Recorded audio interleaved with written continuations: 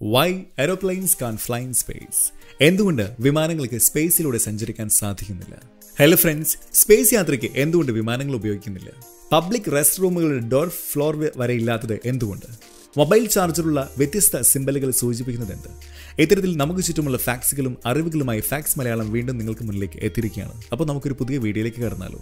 Number one കാട്ടിലെ ഏറ്റവും ശക്തമായ മൃഗങ്ങളിൽ ഒന്നാണ് കടുവ. കാട്ടിലെ രാജാവ് സിംഹമാണെങ്കിലും ആ സിംഹത്തിനും വെല്ലുവിളി ഉയർത്താൻ തക്ക കഴിവുള്ളവയാണ് ഈ കടുവകൾ.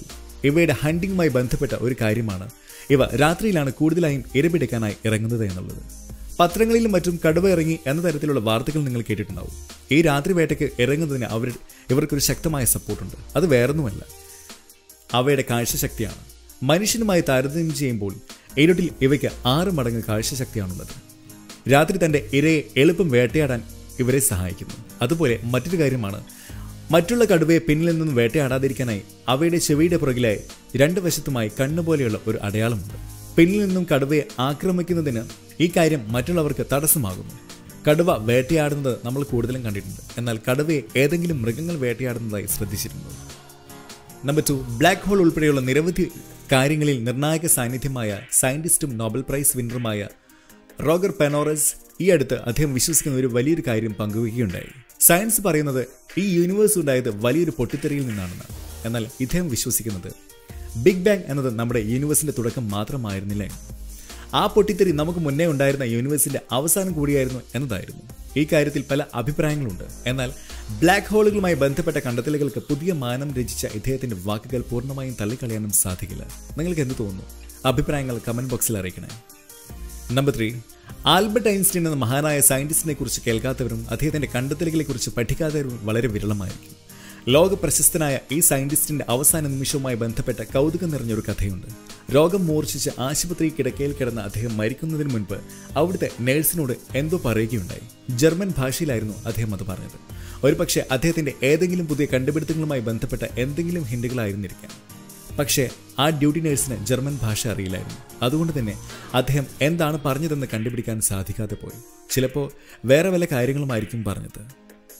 നമ്പർ ഫോർ ലോകത്തെ ഏറ്റവും പഴക്കം ചെന്ന ആസ്ട്രോണമിക്കൽ ക്ലോക്ക് സ്ഥിതി ചെയ്യുന്നത് എവിടെയാണെന്ന് അറിയാമോ ജ്യോതിഷവുമായി ബന്ധപ്പെട്ട് നിൽക്കുന്നതിൽ ഭാരതീയ സംസ്കാരവുമായി ബന്ധപ്പെട്ട് നിൽക്കുന്ന രാജ്യങ്ങളാണ് കൂടുതൽ മികവ് പുലർത്തുന്നതെങ്കിലും ഏറ്റവും ഓൾഡസ്റ്റ് ആയിട്ടുള്ള ആസ്ട്രോണമിക്കൽ ക്ലോക്ക് സ്ഥിതി ചെയ്യുന്നത് സൗത്ത് അമേരിക്കൻ രാജ്യമായ പ്രോഗിലാണ്. ഈ ആസ്ട്രോണമിക്കൽ ക്ലോക്ക് എന്നത് നമ്മുടെ സാധാരണ ക്ലോക്കുമായി വളരെ വ്യത്യസ്തമാണ്. എല്ലാവർക്കും ഇത് മനസ്സിലാക്കാൻ കഴിഞ്ഞെന്ന് വരില്ല. ഇതിനായി സെപ്പറേറ്റ് പഠനം തന്നെ ആവശ്യമാണ്. നമ്പർ ഫൈവ് മാളുകളിലും അല്ലെങ്കിൽ അത്തരത്തിലുള്ള ഷോപ്പിംഗ് കോംപ്ലക്സുകളിലുമുള്ള പബ്ലിക് റെസ്റ്റ് റൂമുകൾ നിങ്ങൾ ശ്രദ്ധിച്ചിട്ടുണ്ടോ? അവയുടെ ഡോർ ഫ്ലോറിൽ ടച്ച് ചെയ്തിട്ടുണ്ടാവില്ല. അല്പം ഉയർന്നാണ് നിൽക്കുന്നത്. ഇത് എന്തുകൊണ്ടാണെന്ന് ചിന്തിച്ചിട്ടുണ്ടോ? എല്ലാവരും പ്രൈവസി ആഗ്രഹിക്കുന്ന ഒരിടമാണ് റെസ്റ്റ് റൂംസ് പ്രത്യേകിച്ച് അത് പബ്ലിക് ആണെങ്കിൽ ആ കാര്യം കൂടുതൽ ഉറപ്പാക്കാൻ നോക്കും. പക്ഷേ ഇങ്ങനെ ചെയ്യുന്നത് ഒരുപാട് കാര്യങ്ങൾ പരിഗണിച്ചാണ്. റെസ്റ്റ് റൂംസ് അതിലേക്ക് കയറാതെ തന്നെ ക്ലീൻ ചെയ്യാൻ വളരെ എളുപ്പമാണ്. അതുപോലെ അതിലുള്ളവർക്ക് പെട്ടെന്ന് എന്തെങ്കിലും ഒരു ഹെൽത്ത് ഇഷ്യൂസ് വന്നാൽ അവരെ വേഗം രക്ഷപ്പെടുത്താനും ഈ ഒരു ഡിസൈൻ ഹെൽപ്പ് ചെയ്യും. വെന്റിലേഷൻ ഒരു ഘടകമാണ്. അതുപോലെ ഡോർ പകുതിയാക്കുന്നത് കൊണ്ട് ഒരു ഫുൾ ഡോറിന്റെ എക്സ്പെൻസ് മാത്രമാണ് രണ്ട് റെസ്റ്റ് റൂമുകൾക്ക് ആയി വരുന്നുള്ളൂ.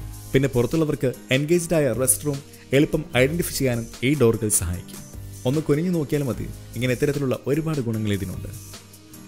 നമ്പർ സിക്സ് അത്യാഡംബര ബ്രാൻഡായ റോൾസ് റോയ്സ് മറ്റു കാർ ബ്രാൻഡുകളിൽ നിന്നും വ്യത്യസ്തമായി നിൽക്കുന്നതിന് കാരണം ഓരോ മേഖലയിലും അവർ കണ്ടെത്തുന്ന പല പരീക്ഷണങ്ങളും ഇൻവെൻഷനുകളുമാണ് ഈ റോൾസ് റോയ്സുമായി ബന്ധപ്പെട്ട ആ ബ്രാൻഡിനെ ഒരു പവർ എടുത്ത് കാണിക്കുന്ന ഒരു കാര്യമാണ്. ഈ റോൾസ് റോയ്സ് കാറുകളെല്ലാം തന്നെ നിർമ്മിക്കുന്നത് ഏകദേശം ആറ് മാസത്തോളം സമയമെടുത്തുകൊണ്ടാണ്. അത്രയും ടൈം വേണ്ടിവരും ഈ കാറുകൾക്ക് അവയുടെ നിർമ്മാണം പൂർത്തിയാക്കാൻ.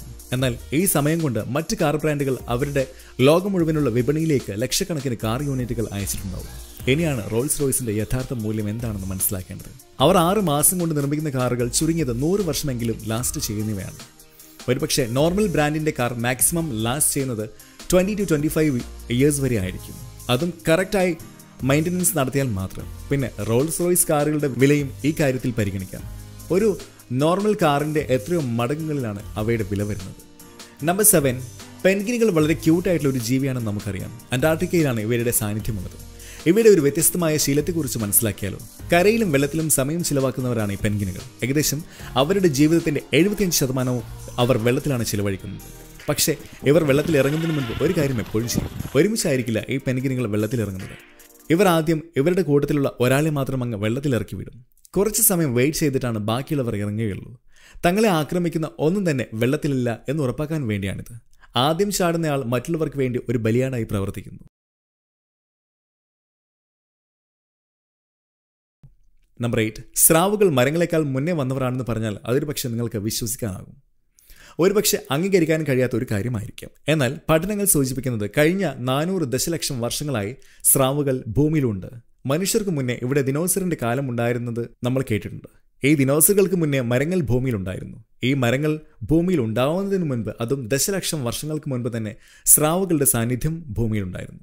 പഠനങ്ങൾ സൂചിപ്പിക്കുന്നത് സ്രാവുകൾ ബിഗ് ഫൈവ് മാസ് എക്സ്റ്റൻഷനുകൾ നാല് തവണ സർവേ ചെയ്തവർ എന്നാണ്. നമ്പർ നയൻ മൊബൈൽ ചാർജുകളിൽ കൊടുത്തിട്ടുള്ള വ്യത്യസ്തമായ സിമ്പലുകൾ നിങ്ങൾ ശ്രദ്ധിച്ചിട്ടുണ്ടോ? എന്തൊക്കെയാണ് കൺവേ ചെയ്യുന്നത് എന്ന് ആലോചിച്ചിട്ടുണ്ടോ?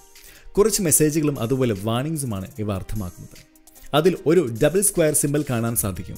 എ സിമ്പിളാണ് ഡബിൾ ഇൻസുലേഷൻ സിമ്പിൾ ഇത് സൂചിപ്പിക്കുന്നത് വയറുകൾ വയൽ കോട്ടഡ് ആണെന്നും അവയിൽ നിന്നും യാതൊരു വിധത്തിലുള്ള ഇലക്ട്രിക് ഷോക്ക് ഉണ്ടാവുകയില്ലെന്നുമാണ് സൂചിപ്പിക്കുന്നത്.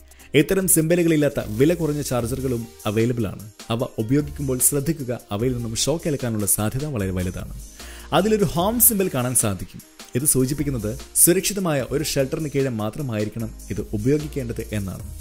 ടു ട്വന്റി വോൾട്ട് സപ്ലൈ വരുന്നതായിരിക്കണം അത്. ഡയറക്റ്റ് സൺലൈറ്റിന് കീഴിൽ ഈ ചാർജർ ഉപയോഗിക്കരുത്. പൊട്ടിത്തെറിക്കാൻ സാധ്യത കൂടുതലാണ്. പിന്നെയുള്ളത് ഒരു ക്രോസ് വരച്ച ഡസ്റ്റ്ബിൻ സിമ്പിളാണ് ഇത് സൂചിപ്പിക്കുന്നത് സാധാരണ വേസ്റ്റ് പോലെ ഇത് ഡസ്റ്റ്ബിനുകളിലും മറ്റും ഉപേക്ഷിക്കരുത് എന്നാണ്. റീസൈക്കിൾ ചെയ്യാൻ കഴിയുന്ന കറക്റ്റ് പ്ലേസിൽ മാത്രം ഇത് ഉപേക്ഷിക്കുക എന്നതാണ്. ഇതുകൂടാതെ നിരവധി സിമ്പിൾസ് കാണാൻ സാധിക്കും. ഏറ്റവും പ്രാധാന്യമുള്ളവ ഇവയാണ്. നമ്പർ ടെൻ ആകാശത്തിലൂടെ പറക്കുന്ന വിമാനങ്ങൾക്ക് എന്തുകൊണ്ടാണ് സ്പേസിലൂടെ സഞ്ചരിക്കാൻ സാധിക്കാത്തതെന്ന് എപ്പോഴെങ്കിലും ചിന്തിച്ചിട്ടുണ്ട്? അല്ലെങ്കിൽ എയ്റോപ്ലെയിനിന്റെ ഡിസൈൻ എന്തുകൊണ്ട് സ്പേസ് വാഹനങ്ങളുമായി വ്യത്യാസപ്പെട്ടിരിക്കുന്നു? ഇതിന് കാരണം ഗ്രാവിറ്റിയാണ്. എർത്ത് ഗ്രാവിറ്റിയിൽ നിന്നും എസ്കേപ്പായി സ്പേസിലൂടെ സഞ്ചരിക്കണമെങ്കിൽ മിനിമം ഇരുപത്തിയായിരം മീറ്റർ പെർ അവർ എങ്കിലും വേഗത ഉണ്ടാവണം. പക്ഷേ ഇതുവരെ അത്രയും സ്പീഡ് കൈവരിക്കുന്ന ഒരു പ്ലെയിൻ നിർമ്മിച്ചിട്ടില്ല. ലോകത്ത് ഇതുവരെ പുറത്തിറങ്ങിയ എയ്റോപ്ലെയിനുകളിൽ ഏറ്റവും വേഗത്തുള്ള പ്ലെയിനിന്റെ സ്പീഡ് അയ്യായിരത്തി ഒരുന്നൂറ്റി നാൽപ്പത് മൈൽസ് പെർ അവറാണ് അതുപോലെ മറ്റൊരു കാരണം ഓക്സിജൻ എമൗണ്ട് കുറവുള്ളത്. ആൾട്ടിറ്റ്യൂഡ് കൂടുന്തോറും ഓക്സിജൻ എമൗണ്ട് കുറയുന്നത് കൊണ്ട് കമ്പസേഷന് ഡിഫിക്കൽറ്റി സൃഷ്ടിക്കുന്നു. അതുപോലെ സാന്ദ്രമായ ഒരു വായുവല്ല സ്പേസിലുള്ളത് ഇത് ലിഫ്റ്റ് പ്രൊഡ്യൂസ് ചെയ്യുമെങ്കിലും താഴോട്ട് വരുന്നതിൽ നിന്ന് തടയുന്ന തരത്തിലുള്ള അത്രയ്ക്കും ഉണ്ടാവില്ല. വായുവിന്റെ സാന്നിധ്യമില്ലാതെ വലിയ വിമാനമോ ചെറിയ വിമാനമോ ലിഫ്റ്റ് പുറപ്പെടുവിക്കില്ല. ബഹിരാകാശത്ത് ഒരു വിമാനത്തിന്റെ ചിറകുകൾക്ക് മുകളിലൂടെ സഞ്ചരിക്കാൻ വായുവില്ല. ഇതാണ് വിമാനങ്ങൾക്ക് ബഹിരാകാശത്ത് പറക്കാൻ കഴിയാത്തതിന്റെ പ്രധാന കാരണം. കുറച്ച് ഫാക്റ്റുകളും അറിവുകളുമായി എന്ന ഫാക്ട്സ് മലയാളത്തിന്റെ ഇന്നത്തെ ഈ വീഡിയോ നിങ്ങൾക്ക് ഇഷ്ടപ്പെട്ടെന്ന് കരുതുന്നു. വീഡിയോയെ സംബന്ധിച്ച അഭിപ്രായങ്ങളും നിർദ്ദേശങ്ങളും കമന്റ് ബോക്സിൽ അറിയിക്കുക. മറ്റൊരു വീഡിയോയുമായി വരുന്നതുവരെ കാത്തിരിക്കുക. അപ്പോൾ സ്റ്റേഡിയോൺസ് ഫാക്സ് മലയാളം യൂട്യൂബ് ചാനൽ